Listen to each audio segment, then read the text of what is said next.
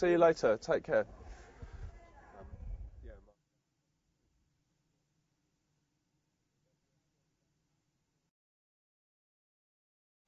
I suppose, firstly, I mean, the actual timescale was fairly quick on this light show. We kind of Peter, the uh, commissioner, kind of contacted the artists, and uh, you know, with a with a kind of proposition that you can't really turn down. You know, it's like think about it for about 30 seconds, and then it's yes, I would like to be in the Venice Biennale. That would be good.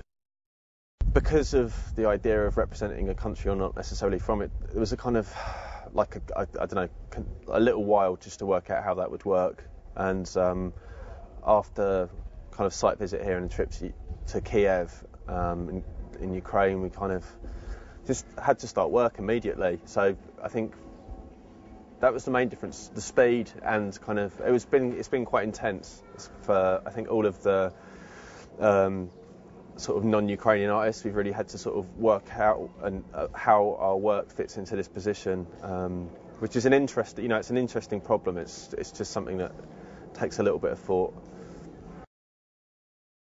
the problem of location like is sort of inherent with any sort of site specific work and that's something that I quite often do and that does really um, start off with really simple things like making maquettes of works um, making kind of like you know Photoshop mock-ups of the, the piece um, it is odd but it's just, you know this sort of uh, this kind of displacement it's not it's a different kind of studio practice it's not something where you can kind of you know finish it put it up on the wall and to be honest the, the you don't get a complete sense of the work until it's installed here. Obviously, things look slightly different.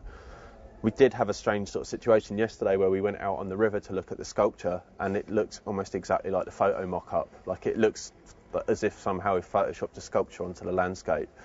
So that was kind of quite gratifying because I did sort of feel like, yeah, maybe I know what I'm doing, you know, with this kind of practice now. Um, with my digital works, obviously the scale of them is sort of means that I never really see them. Um, I see them at the printers kind of unrolled, but I never see them installed until we actually visit the site. So that's always quite exciting, stroke worrying. Like, um, do as much preparation as possible in terms of you know like scale, format, lighting, and all these kinds of things. But there's always a certain kind of unknown quantity. But to be honest, I quite like that. It's quite exciting, and uh, it's certainly been part of the way that I've been working for about the last five years.